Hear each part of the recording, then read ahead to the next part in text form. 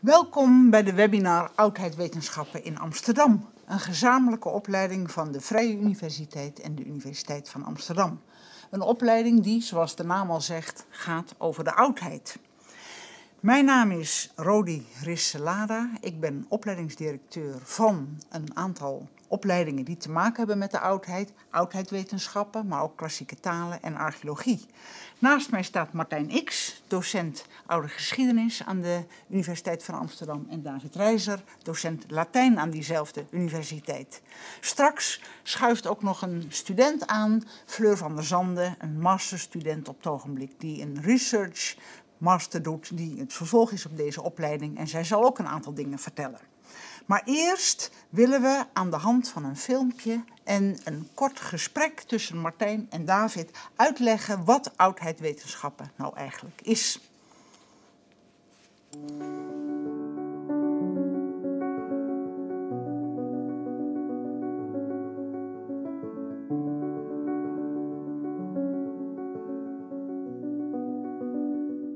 Welkom, we zijn hier in het Allert Pierson Museum, de archeologische collectie van de Universiteit van Amsterdam. En we gaan hier een heel bijzonder beeld bekijken. Dit is de Augustus van Prima Porta, een van de beroemdste kunstwerken uit de oudheid. 2000 jaar geleden was dit de machtigste man ter wereld. Augustus was de eerste keizer van Rome en hij regeerde over een gigantisch rijk dat zich uitstrekte van de Rijn en de Donau in het noorden tot de Sahara in het zuiden. Het beeld in het Allard Pierson Museum is geen origineel, maar een afgietsel. Augustus is hier afgebeeld als generaal, de hand geheven terwijl hij zijn troepen toespreekt. Maar er zullen maar weinig generaals zijn geweest die op blote voeten rondliepen. Wie dat wel deden, waren de goden. Zij waren immers onkwetsbaar en hadden dus geen schoenen nodig. Door zich op blote voeten te laten afbeelden, laat Augustus doorschemeren dat hij misschien ook wel een heel klein beetje goddelijk is. Wat natuurlijk ook meteen in het oog springt, zijn de kleuren van het beeld. We stellen ons de tempels en beelden van het oude Rome vaak als glanzend wit voor, zoals het beeld hier bijvoorbeeld, maar eigenlijk waren ze juist bont geverfd. Die verf is er in de loop der eeuwen afgesleten, maar aan de hand van verfresten is het vaak nog mogelijk om het oorspronkelijke beeld te reconstrueren. Niet alle critici zijn het trouwens met die reconstructie eens. Zoals één geleerde opmerkte, Augustus ziet er hier uit als een drag queen die probeert een taxi aan te houden. Als we de oudheid bestuderen, willen we graag weten hoe die werkelijk was. We willen weten wat voor soort man Augustus was en hoe zijn beelden er oorspronkelijk uitzagen. Tegelijkertijd verandert ook de blik waarmee we naar de oudheid kijken. Iedere cultuur en ieder tijdperk heeft weer zijn eigen perspectief. Bij oudheidwetenschappen zijn we in beide aspecten geïnteresseerd. Zowel in de historische werkelijkheid als in de receptie van de oudheid in latere tijden. Ja, hartelijk welkom. Um, dat is inderdaad een, uh, een behoorlijke schok, zo'n uh, beeld um, als in de reconstructie in het Alpierse Museum, die u net uh, zo uh, prachtig door Martijn zagen uh, ingeleid. de eerste keer dat dit soort onderzoek gepresenteerd werd, dat is niet eens zo heel lang geleden, een paar decennia geleden, op een archeologencongres.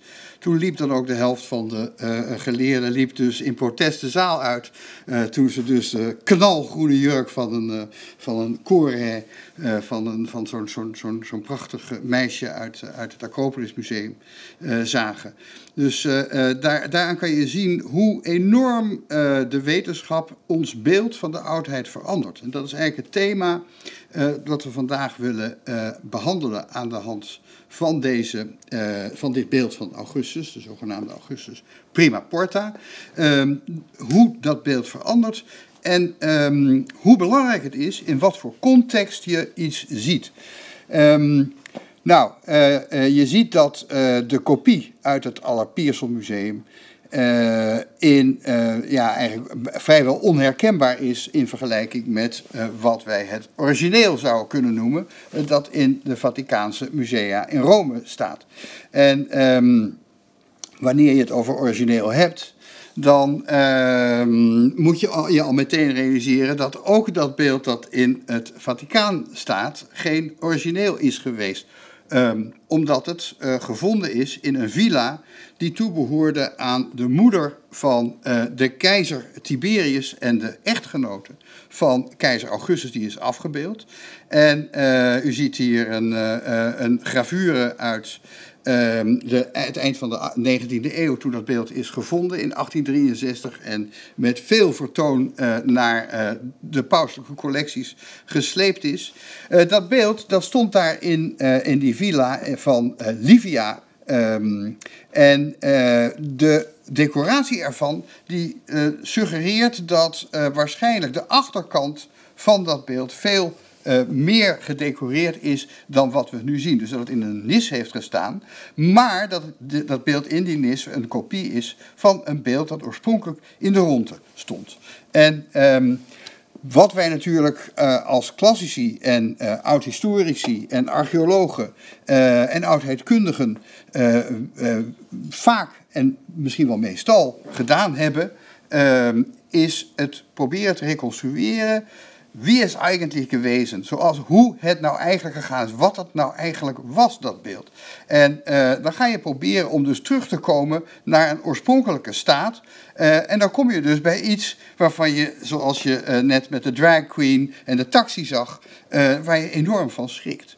Um, die context, die oorspronkelijke context eh, van die Augustus Prima Porta, daar is de afgelopen decennia hard op gestudeerd. En de meest recente uh, oplossing die gesuggereerd is door een Italiaanse archeoloog, is dat dat beeld wellicht heeft gestaan op het mausoleum van Augustus, uh, zoals dat op het Marsveld uh, is gebouwd, gepland door de keizer zelf. En daarna is hij daar begraven en met de bedoeling, en dat is ook gerealiseerd, dat zijn hele dynastie uh, daar uh, terecht zou komen. Uh, uiteindelijk is er een tweede mausoleum bijgekomen van Hadrianus, dat kennen jullie misschien, Castel San Angelo. Dat mausoleum maakte deel uit van een enorm themapark, zou je kunnen zeggen. Een themapark uh, in het Marsveld, uh, waar je hier een reconstructie van ziet. Een deel ervan uh, een deel maakte uit, was een obelisk die daar deel van uitmaakte. daar hem aan de rechterkant zie je een, een reconstructie van de Arapakis, die nu nog altijd bij dat mausoleum in Rome staat.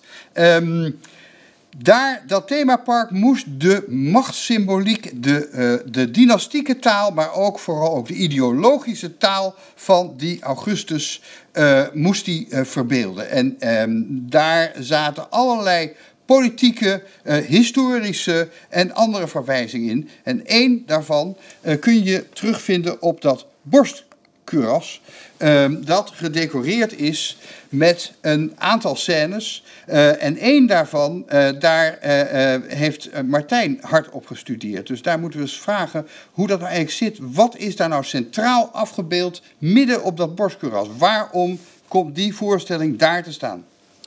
Ja, David, als je gaat kijken naar de grote inscriptie die Augustus heeft aangebracht bij zijn mausoleum op twee grote bronzen platen naast de ingang, de zogenaamde res gestae, we zouden kunnen zeggen de prestaties van Augustus, dan zie je dat hij onder andere claimt, eh, zoals je ook op de slide ziet staan, ik heb de parten gedwongen de wapenbuit en veldtekens van drie Romeinse legioenen terug te geven en om vriendschap met het Romeinse volk te smeken. Die parten, dat zijn de oosterburen van het Romeinse Rijk. Het is een groot rijk dat zich bevindt in het gebied waar, uh, waar nu Irak, Iran uh, lagen. En die parten die hadden een aantal decennia eerder een grote overwinning op de Romeinen behaald. En daarbij hadden ze de, legioen, de legioensadelaars, de veldtekens van drie legioenen buitgemaakt. Dat was voor de Romeinen een grote schande. En Augustus probeert de balans weer een beetje te herstellen. En hij doet dat door uh, niet de parten te verslaan, al claimt hij dat eigenlijk wel een beetje, maar door uh, in diplomatieke onderhandelingen met die parten te treden. En hij weet uiteindelijk gedaan te krijgen dat inderdaad die drie legioensadelaren teruggegeven worden. Als we nu gaan kijken naar het borstharnas van het beeld van Augustus, dan zie je daarop, als je goed kijkt, uh, aan de linkerkant een Romeinse figuur staan en aan de rechterkant staat een part dus een vertegenwoordiger van het Parthische Rijk, die een van die legioensadelaars weer teruggeeft aan Augustus. En dat symboliseert eigenlijk dat de balans hersteld is, de vrede is weer teruggekeerd, de Pax Augusta zouden we kunnen zeggen, de Augusteïsche vrede waar de keizer voor verantwoordelijk is. En voortaan heerst er weer harmonie tussen Oost en West. Uh, dat cultureel contact tussen Oost en West, die interactie tussen die twee werelden, is trouwens ook een punt wat in de opleiding oudheidwetenschappen centraal staat en waar regelmatig op ingegaan zal worden. Maar niet alleen de afbeelding op het borstharnas is heel interessant, ook de houding van het beeld kan ons allerlei dingen over Augustus vertellen. Uh, David, kan je daar wat meer over vertellen? Ja, dat is, uh, het is natuurlijk fascinerend hoe.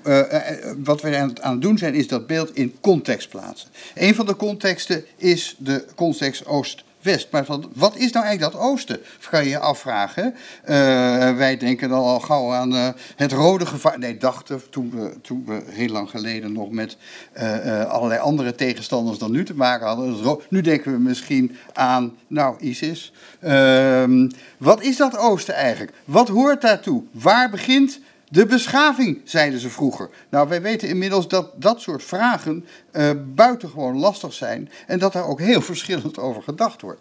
Nou, een van de dingen die de Romeinen langzaam als oosten gingen zien, was de Griekse cultuur. Aan de ene kant uh, was die Griekse cultuur het grote voorbeeld geweest, met behulp waarvan uh, de Romeinen zichzelf een gezicht hadden gegeven, een rol hadden gegeven in de mediterrane wereld en daarboven kwamen als, als machtsfactor boven komen drijven. Zonder die Griekse voorbeelden had het niet gekund, maar uiteindelijk gaan ze die Grieken ook een beetje, wat tegenwoordig wel eens genoemd wordt, demoniseren. Nou, die, een voorbeeld van die invloed van die Grieken zie je in dit beeld, want de, manier waarop Augustus staat is exact tot op de centimeter nauwkeurig uh, de manier waarop een van de allerberoemdste beelden de, uh, in de kanon van de klassieke kunst, de, de, de, literatuur, de beeldende kunst, ehm, eh, de filosofie, dat, daar, de hoogtepunten daarvan, die vormen, zeggen wij dan, de kanon. Dat zijn de dingen waar, uh, waar, de, waar alle lijnen in samenkomen, zou je kunnen zeggen, van zo'n cultuurtraditie. Nou, een van de allerbelangrijkste beelden uh, in die kanon is de Doryphoros van Polykleitos uit het uh, begin, uit het einde van de vijfde eeuw voor Christus. Um, een beeld waar ook trouwens uh, een, uh, een, een, theorie omheen gebouwd werd over, het, over een ideale weergave van het mannelijk naakt door de beeldhouwer zelf. En juist dat beeld, dat de ideale, de ideale proporties beoogde uh, weer te geven. En in die zin, ook daar trouwens, uh, het beeld dat u links uh, ziet, is een marmeren kopie van een bronzen origineel, zoals ook de Prima Porta oorspronkelijk brons is geweest. Maar die ideale uh, proportie van dat bronzen, oorspronkelijk bronzen beeld uh, wordt opgeroepen door Augustus door exact de stand van de voeten te, uh, over te nemen. En ook door onder dat Romeinse borstkuras met zijn partendecoratie exact de sixpack en de, het, het behoorlijk afgetrainde lijf van de keizer, die zich overigens tot op hoge leeftijd als een jonge man niet afbeeldt zoals wij dat allemaal graag willen natuurlijk, maar niet heus. Um, dat afgetrainde lijf, dat is precies het lijf van de Doryphoros. Dus uh, dat beeld, dat, uh, dat evoceert, dat roept erop het belangrijkste Griekse beeld waar die Grieken beroemd om waren geworden. Met één verschil, de hand gaat omhoog. En die hand, die zie je dan weer terug in een beeld uit de vroege eerste eeuw voor Christus uit Etrurië, ten noorden van Rome, waar een, een, lokale aristocraat zich als redenaar laat afbeelden. Dus je krijgt een combinatie van een heroïsch naakt, een redenaar en in de militaire, uh, de, de, militaire uh, uitdossing van de keizer uh, dus ook een, een, een soldaat. En die drie elementen die worden als het ware samengevoegd.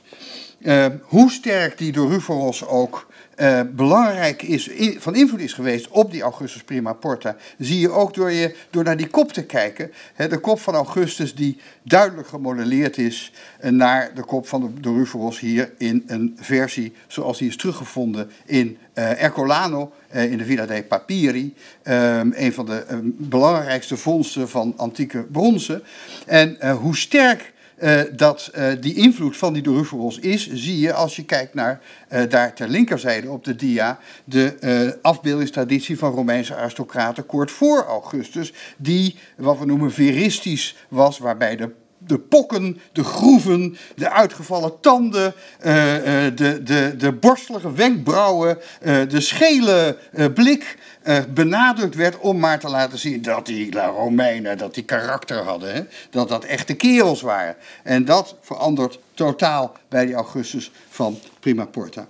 Um, zo zie je, het contextualiseren van zo'n beeld laat allerlei dingen zien. Maar die context verandert voortdurend. En uh, een van de meest fascinerende voorbeelden daarvan is nu juist dat mausoleum van Augustus, waar de, uh, uh, waar de fascistische Italiaanse leider Mussolini zich op gestort heeft. Hoe is dat precies gegaan, Martijn? Ja, we zeiden al dat het beeld gevonden is in 1863 in Italië. Vervolgens komen in de jaren 20 de fascisten aan de macht onder Mussolini. En Mussolini ziet zichzelf eigenlijk als een soort nieuwe Augustus. Hij kijkt terug op de hoogtijdagen van het Romeinse Rijk en hij zegt: Italië was op dat moment uh, beter dan het ooit tevoren of ooit daarna was. We moeten weer terug naar de gloriedagen uit die tijd. En dat betekent ook dat we Augustus weer moeten gaan ophemelen.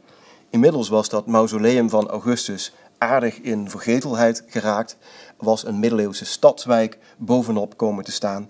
En je ziet aan de rechterkant van de slide hoe men die middeleeuwse huizen dakpan voor dakpan weer aan het afbreken is zodat daaronder dat oude mausoleum weer tevoorschijn kon komen. En daarmee heeft Mussolini natuurlijk een hele duidelijke politieke boodschap.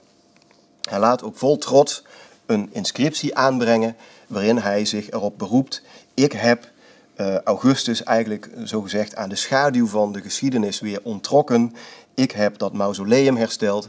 Ik heb het Arapakis, het altaar van de vrede, wat daarnaast stond, dat heb ik ook weer in ere hersteld. Ik heb de brokstukken weer opgebouwd, zodat die oude glorie weer hersteld is en Augustus de eer krijgt die hij toekomt. En interessant is natuurlijk dat hij dat vervolgens ook in de vorm van een inscriptie laat aanbrengen. Zogezegd zijn eigen res gestae, net zoals Augustus zijn inscriptie aanbracht, doet Mussolini dat hier ook en treedt ook daarmee weer in de voetsporen van de eerste Romeinse keizer. Daar blijft het trouwens niet bij. Ook heel interessant is deze fascistische postzegel, waar je de Augustus van Prima Porta ziet afgebeeld. En het interessante aan die postzegel is dat Augustus hier omringd wordt door een applaudisserende menigte. En daardoor krijgt plotseling die hand die omhoog gestoken wordt en waarmee dus eigenlijk het antieke gebaar van een redenvoering gemaakt wordt, krijgt hier de context van de fascistengroet. Dus Augustus wordt hier omgetoverd, zou je kunnen zeggen, tot een fascistische leider. En David, zou je kunnen zeggen dat hij daarmee eigenlijk ook besmet is geraakt door die fascisten? Ja, en eh, dat, dat geldt voor heel Rome. He, uh, uh, heel Rome is langzamerhand uh, gedemoniseerd, zou je kunnen zeggen. Het is, het is eigenlijk al begonnen lang voor de fascisten bij de romantici. maar in de 20e eeuw is het heel hard gegaan. Tot laat ik maar zeggen, tot en met de 18e eeuw is Augustus de ultieme held, is het voorbeeld voor alle grote leiders, alle keizers, alle machthebbers, zowel in, de, in zijn rijkwijde van zijn politieke macht als in zijn ideologische en culturele uh, uh, uitstraling. Maar um, vanaf, de, uh, vanaf het moment dat die fascisten er met Rome met name aan de haal gaan, zowel Hitler als Mussolini waren grote bewonderaars, dan, dan ineens ineens begint men eh, te zien wat voor verschrikkelijke kanten eh, zo'n eh, massieve nationale macht kan hebben. En eh, dat leidt er in 1939 eh, toe dat er een eh, fantastisch boek wordt geschreven. Een van de mooiste boeken. Het grappige is, als je dus zo, zulke vakken als wij doen gaat studeren, dan lees je originele teksten. We hebben gekeken naar de Res Gestae, maar, en daar kijkt u trouwens nu weer naar. Maar je leest ook secundaire literatuur. Maar die secundaire literatuur is soms ook weer als het ware een literair meesterwerk. Een van die literaire meesterwerken is The Roman Revolution van uh, geridderde Ronald Syme. Uh, Sir Ronald Syme heeft een boek geschreven over Augustus als monster. En daar heeft hij de tekst die je hier op de dia ziet, eigenlijk een draai gegeven. Want dit is, we hebben gezien dat die res die rond dat mausoleum van Augustus in Rome uh, uh, in brons stond afgebeeld, dat daar de belangrijkste politieke daden en het politieke profiel in geformuleerd werden. Daar hoorde bij dat, zoals je ziet hier op de dia, Augustus zei: Ik was een, een warlord, ik was een militaire leider, maar ik heb mijn macht uit handen gegeven en aan de Senaat teruggegeven. En omdat ik zo moedig, u ziet het staan onderaan, zo clement, zo rechtvaardig uh, was, zo, zo pious, een verantwoordelijkheidsgevoel had, daarom heeft de Senaat mij alleen maar geëerd. En daar, dat moet dat standbeeld natuurlijk uitstralen. Maar uh, uh, van militaire macht heb ik niet gehad. Nou, kijk je naar wat die Ronald Syme dan in 1939, wanneer uh, de nazi's Polen zijn binnengevallen. Ik hoor dat boek gepubliceerd. dan zegt hij: Absolute rule, despotism, liberty was gone, bloodshed, fraud. A revolutionary leader. Dus dan wordt die, die, die Augustus wordt een monster. Het grappige is, de postzegel was naar aanleiding van het uh, jubileum van Augustus' geboorte in 1937. het 2000 jaar Augustus. Nu hebben we net een, een jubileum van Augustus dood in 2014 gehad.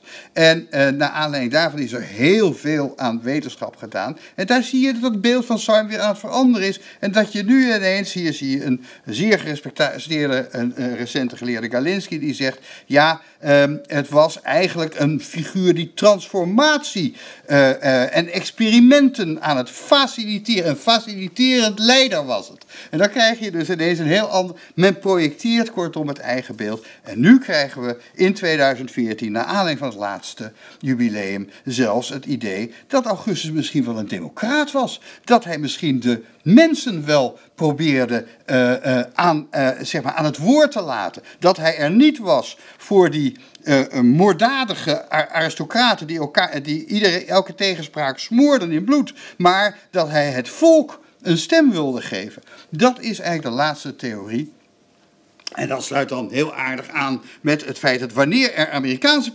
presidentsverkiezingen zijn, je altijd weer de Romeinse keizers krijgt. Zo ook Donald Trump, uh, wiens uh, beeltenis dus op de Prima Porta gemonteerd is in een site waar, waar trouwens de meest afschuwelijke dingen op te lezen zijn. Maar daar gaan we het nu eens even niet over hebben. Trump je ziet dat dat daar tevoren ook al gebeurde op die dia waar Bush als Romeins keizer is verkleed. Kortom, die keizers worden altijd weer geassocieerd met de huidige macht. Grappig is als je zegt besmet geraakt, ja, want de democraat Barack Obama, die laat zich fotograferen voor het Parthenon, hè, waar de democratie. De Romeinen, die hebben ja, de, de staat groot gemaakt en die zijn de, de macht groot gemaakt, die zijn gevaarlijk en eng. En um, dat is inderdaad een beeld dat nu misschien wel een beetje aan het kantelen is. Dat zijn de dingen die je gaat bekijken wanneer je dit uh, vak uh, gaat studeren. deze vakken zou ik willen zeggen. Um, en daarbij moet je je bedenken dat je gaat proberen om de wereld van de oudheid eigenlijk zonder enige begrenzing te bestuderen. Niet begrensd door topografische grenzen, het hele mediterrane gebied met het nabije oosten in één verband met elkaar. Niet begrensd door verschillende disciplines. Ik studeer Latijn, dus ik ga kijken, is dat een ablativus absolutus? Nee, je gaat proberen om al die disciplines, de archeologie, de filosofie, de literatuur, de epigrafiek, de oude geschiedenis, de hele boel proberen in verband met elkaar te zien. En dan vooral ook hè, het feit dat die culturen met elkaar, zowel op het moment zelf, dat hebben we gezien, de Grieken, de Romeinen, de Parten, de Romeinen, op het moment zelf met elkaar in verband staan, maar ook door de tijd heen met elkaar in verband staan. En uh, dus dat, wat je gaat studeren is cultuuroverdracht synchroon op het moment zelf en diachroon door de tijd heen. Dat doe je met een opbouw uh, waarin je eerst een aantal kernvakken krijgt um, en uh, je, je uh, wat keuzeruimte krijgt om je te oriënteren in wat je naast die oudheidswetenschappen voor specialisatie wilt gaan doen. In het tweede jaar ga je daar serieus mee beginnen en dan ga je echt een discipline kiezen en in het derde jaar uh, ga je vooral uh, die discipline uitwerken en een uh, uitgebreide interdisciplinaire bachelorscriptie schrijven. Vakken waar we zoals um, waar we dingen gaan doen die we uh, net hebben proberen te illustreren, zijn bijvoorbeeld de cultuurgeschiedenisvak in het eerste jaar, dag Rodi, en um, uh, de cultuurgeschiedenisvak in het eerste jaar, linksboven in het schema, maar bijvoorbeeld ook twee vakken over de kanon. Wat is de selectie die historisch gemaakt is uit het materiaal dat wij uit de oudheid over hebben. En waarom is dat gemaakt? Je krijgt een overzicht van de belangrijke dingen. De Augustus van Prima Porta, het Parthenon, eh, de Aeneis, eh, de Ilias, etc. Maar daarna krijg je in het tweede jaar bijvoorbeeld een college waar wordt gekeken naar de cultuursociologische redenen waarom culturen zulke selecties maken. En je wordt daar, daar in zekere zin, zou je kunnen zeggen, een soort cultuursocioloog met als prisma de oudheid. Want uh, die, die uh, vakken cultuurgeschiedenis die gaan door de tijd heen, van de allervroegste oudheid tot vandaag de dag Donald Trump, proberen we die cultuurgeschiedenis vanuit het perspectief van de oudheid te benaderen. En wat doen we nog meer? Dat zijn de grote cultuurhistorische lijnen. Die zijn in dit schema aangegeven in, in, in groene blokken.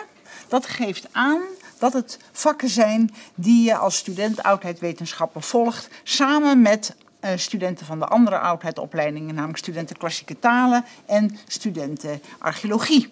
Dat geldt ook voor een heel belangrijk vak dat we hebben als bronnen. Dat staat in het midden van het eerste jaar. Ook een gezamenlijk vak waarin je precies dat leert wat David en Martijn net hebben uitgelegd. Hoe je allemaal verschillende soorten bronnen, teksten, materiële uh, uh, erfgoed uh, historische invalshoek met elkaar probeert te verbinden. Je leert wat bronnen bieden, je leert wat de beperkingen zijn van bronnen en je leert hoe je bronnen met elkaar kunt combineren. Dat is een doorgaande lijn door de hele opleiding heen. Er zijn nog een paar groene vakken, zoals ik ze maar even zal noemen, die je ook gemeenschappelijk volgt. Wetenschapsfilosofie. Je gaat op excursie en daar zit nog een belangrijk vak voor. Samen met de archeologen krijg je een vak, dat is de voorbereiding voor de excursie, waarbij het idee van erfgoed centraal staat. Wat is er nog over voor de oudheid? Hoe moeten we dat bewaren? Um, hoe past dat in het publieke debat? Dat zijn allemaal heel belangrijke vragen. In dit schema zie je ook een ander soort vakken, die zijn geel gekleurd, dat zijn de zogenaamde specialismen. Uh, in je eerste jaar krijg je de gelegenheid in twee vakken om om je heen te kijken, om te kijken hoe je je zou willen specialiseren in de opleiding. En die specialisatie begint dan echt in je tweede jaar.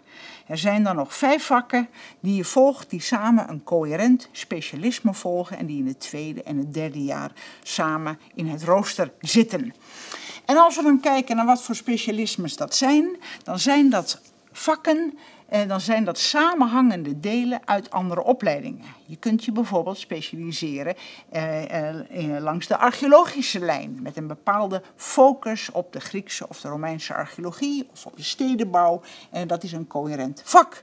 Of je kunt je specialiseren in de oude geschiedenis. Of je kunt, zoals Floor gedaan heeft, uh, uh, welkom Fleur, Fleur van der Zanden, die een research master volgt, die het vervolg is op oudheidswetenschappen. Die heeft zich gespecialiseerd in de talen en culturen van het nabije Oosten, waarbij talen als Akkadisch en Babylonisch een rol spelen.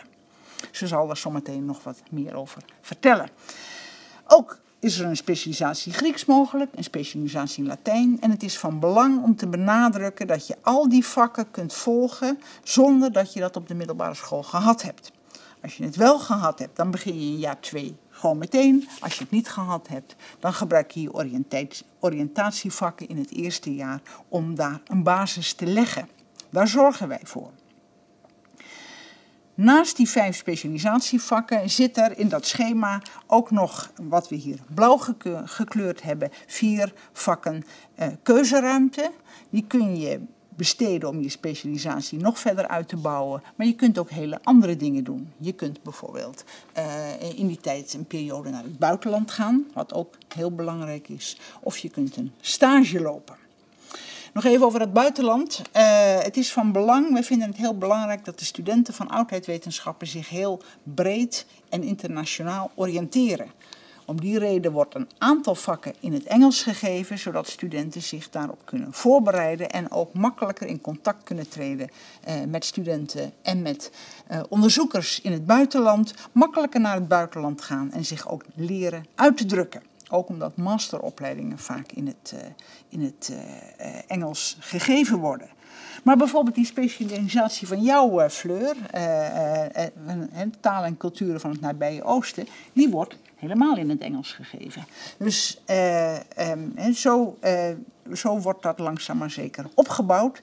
Evenals de vaardigheid om je goed uit te drukken. Zowel geschreven als mondeling, zowel voor een wetenschappelijk publiek, maar ook voor een breder publiek, omdat het van belang is uh, dat je in je opleiding uh, ook het belang van ons vak naar buiten kunt uitbrengen. Ik geef je graag het woord over hoe jij verder gestudeerd hebt en hoe je verder kunt studeren na je bachelor. Dankjewel. Nou, zoals gezegd ben ik dus een research master student. Wat betekent dat ik een tweejarige research master doe. Uh, mijn master is Classics and Ancient Civilizations. En omdat ik in mijn bachelor de track van uh, talen en culturen van het Oude en Nabije Oosten heb gekozen, heb ik dat dus ook doorgetrokken in mijn master en is dat nu mijn specialisatie. Uh, het oude nabije Oosten is misschien een beetje een vaag begrip. Denk daarbij aan het huidige Irak, uh, Syrië en ook nog soms uh, wat delen van Israël, die ook belangrijk zijn geweest in de geschiedenis die voorbij komen.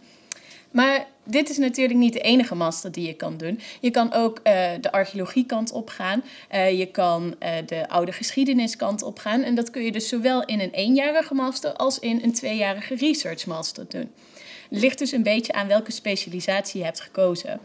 Uh, daarnaast kun je ook nog, daarnaast kun je ook nog um, kiezen voor uh, een master, aansluitende master, zoals European Studies of uh, kunst- en cultuurwetenschappen. Het zijn allemaal masters die een beetje op elkaar aansluiten en die je gewoon vanuit deze bachelor oudheidwetenschappen kan gaan doen. Ja, en daarna? Ja, daarna wil je natuurlijk ook wel werk hebben. Dus waar komen de meeste mensen terecht? De meeste mensen komen vooral in de cultureel-educatieve sector terecht. Dat wil zeggen bij musea, bij boekhandels, bij uitgeverijen, in de journalistiek, bij culturele reizen. Denk aan een heel breed scala waar gewoon die cultureel-educatieve kant naar boven komt. Uh, daarnaast komen ook nog mensen in het onderwijs terecht. Denk daarbij vooral aan uh, Latijn. Als je Latijn hebt gekozen als specialisatie, dat dan in je master vervolgt en daarna ook nog een, een uh, onderwijsmaster daarna volgt, kun je gewoon eerst de graad leerbevoegdheid, lesbevoegdheid krijgen om dan uh, les te geven op middelbare scholen. Verder kun je, als je de kant van de archeologie en erfgoed hebt gekozen, kun je die richting nog opgaan. En natuurlijk heb je ook gewoon het de wetenschap die je in kan gaan. Dat je bijvoorbeeld op een universiteit blijft om daar onderzoek te doen. Tot slot is er ook nog een hele grote groep banen die uh, wij hebben geschaard als uh, academische functies. En dat wil eigenlijk vooral zeggen dat dat banen zijn waarbij je niet een specifieke opleiding hoeft te hebben gedaan, maar waarbij je gewoon academisch geschoold moet zijn. Waarbij je gewoon je vaardigheden op een dusdanig niveau zijn dat je die functies gewoon kan doen. Ja, academische vaardigheden. Uh... Daar uh, hebben we, uh, besteden we veel aandacht aan in die opleiding, zoals ik net al zei. Dat schrijven en presenteren is van belang. En er zijn een aantal van die beroepsperspectieven waar, waar dat ook heel erg belangrijk is. En daar wil ik ook nog even op, op inhaken, want de afgelopen weken zijn er ook uh, zijn die kwesties ook in de media geweest. de slechte beroepsperspectieven voor cultuurvakken. Wij hebben daar onderzoek naar laten doen in het verleden al. en het is heel interessant om te zien waar studenten terechtkomen. En het is juist die breedheid van de opleiding, die, die presentatievaardigheden, die maken dat deze studenten toch in allerlei uiteenlopende banen terecht terechtkomen. Ik zie inmiddels een aantal vragen binnenkomen die ik graag eventjes wil beantwoorden.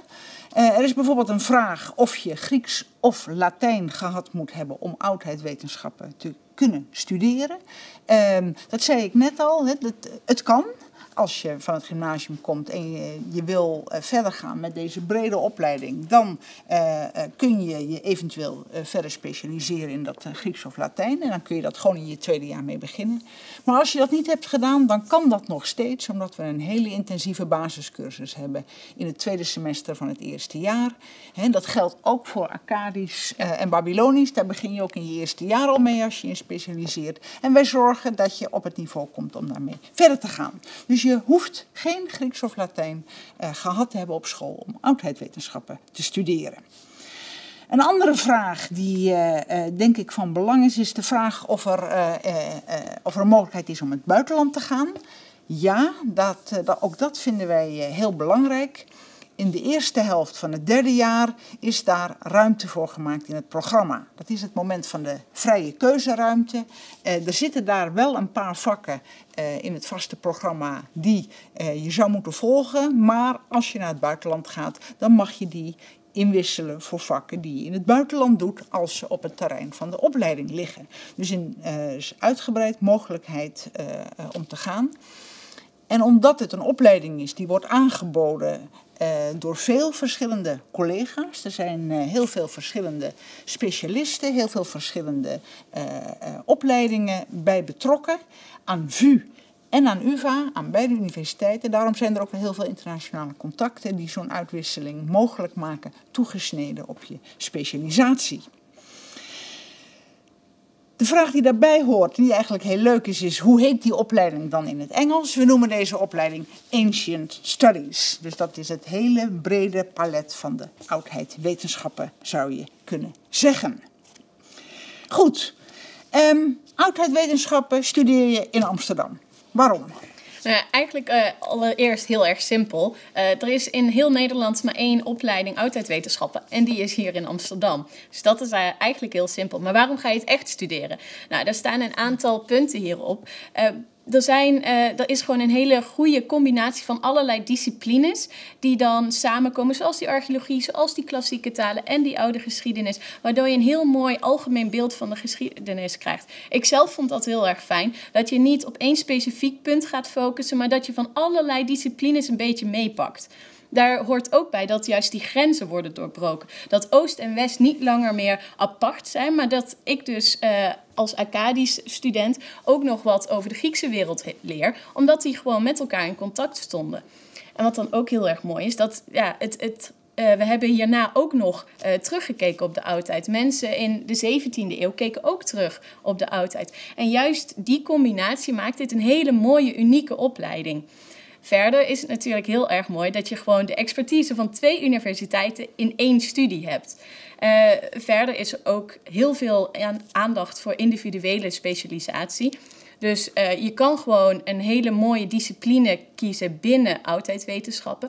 Maar er is ook gewoon heel veel aandacht voor jou als student zelf. Ja, dat is ook een belangrijk punt. Juist omdat er zoveel keuze is, proberen we studenten heel intensief persoonlijk te begeleiden op allerlei momenten dat ze die keuzes moeten maken. Ja. Overigens uh, zie je op deze dia natuurlijk een heel mooi voorbeeld hè, hoe er later op die oudheid is teruggekeken in het Amsterdamse uh, paleis op de Dam uh, en de Burgerzaal, waar een groep studenten op een excursie naartoe gaat. Er zijn nog meer redenen. Ja, uh, bijvoorbeeld het eerste punt, interdisciplinariteit in de collegezaal. Dat vond ik zelf heel erg leuk, want je zit niet alleen maar met studenten van oudheidwetenschappen, je zit ook samen met archeologen en klassici, waardoor je een hele grote gemengde groep krijgt die allerlei andere dingen doen, waardoor je een heel breed beeld weer krijgt. Je krijgt weer andere informatie en je leert ook veel meer mensen kennen, wat natuurlijk ook heel erg leuk is. Uh, zoals eerder gezegd zijn er een aantal vakken die in het Engels worden gegeven. Dus uh, het, het is ook een internationale oriëntatie. En je kan daarna dus ook naar het buitenland. En je leert ook gewoon omgaan met uh, de belangrijke mensen in jouw veld uit het buitenland. Uh, verder vond ik het heel erg fijn dat er een hele intensieve individuele begeleiding is. Dus je staat in heel erg dicht contact met je docenten. En als je in een collegezaal zit, durf je ook gewoon dingen te vragen. Ik vind het heel erg fijn dat als ik in een collegezaal zit, dat ik dan de kans krijg om iets te vragen en dat docenten daar ook echt op ingaan. Uh, ik vond dat zelf heel erg prettig. Net zoals uh, dat het onderwijs in de binnenstad is. Dus in het filmpje aan het begin zagen jullie het Allerpierse Museum. Dat is uh, eigenlijk om de hoek van waar jullie dadelijk les gaan krijgen. En ja, daar is gewoon een hele mooie collectie waar je naartoe kan gaan op het moment dat je dingen hebt geleerd. En dat je dus echt ziet van, hé, hey, dit heb ik net in mijn boek gezien. Maar dat zie ik dus ook zo in het echt. En juist die combinatie vind ik persoonlijk heel erg leuk. Ja. Om nog even op die locatie in te gaan. Je ziet daar het museum eh, waar we om de hoek zitten.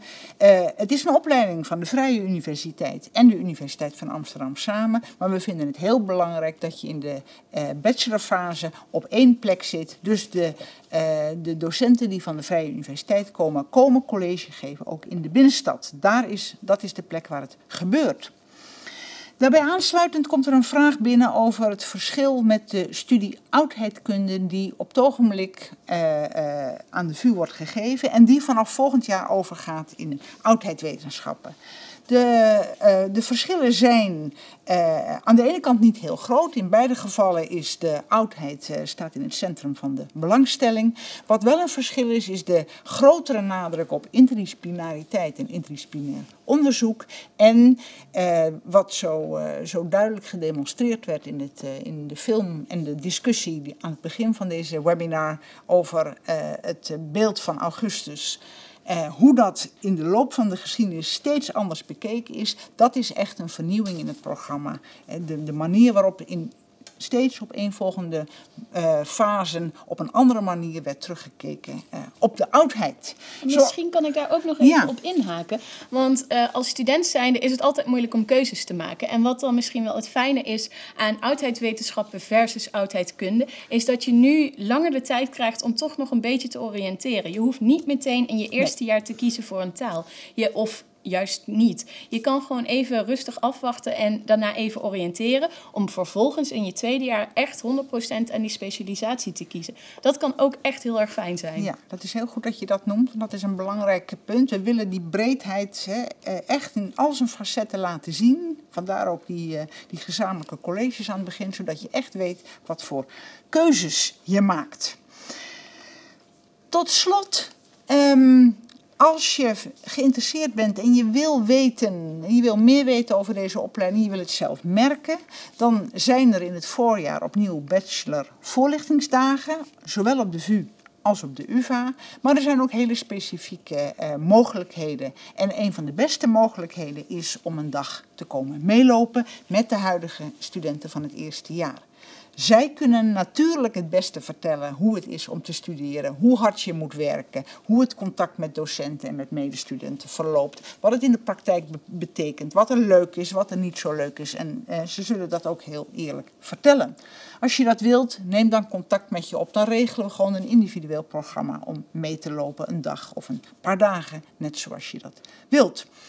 Er zijn ook mogelijkheden om te proefstuderen. Dat is al heel gauw in december aan de UvA. Dan zou je heel snel moeten aanmelden. Dat zijn colleges die ook specifiek voor aankomende studenten eh, georganiseerd worden. Aan de VU kan dat nog een keer in februari.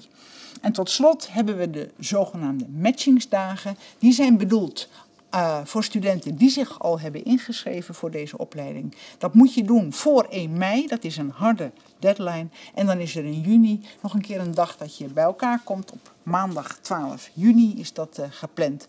En waarop je colleges krijgt, kennis maakt met elkaar. Uh, en nog een laatste mogelijkheid hebt om allerlei dingen te vragen.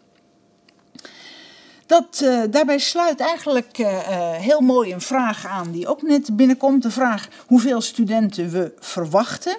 Dat is natuurlijk altijd heel moeilijk om, uh, om, om te zeggen. Um, uh, dat zijn eigenlijk ook twee getallen, omdat deze drie opleidingen, klassieke talen, archeologie en oudheidwetenschappen, samen een aantal colleges hebben, is dat een wat grotere groep.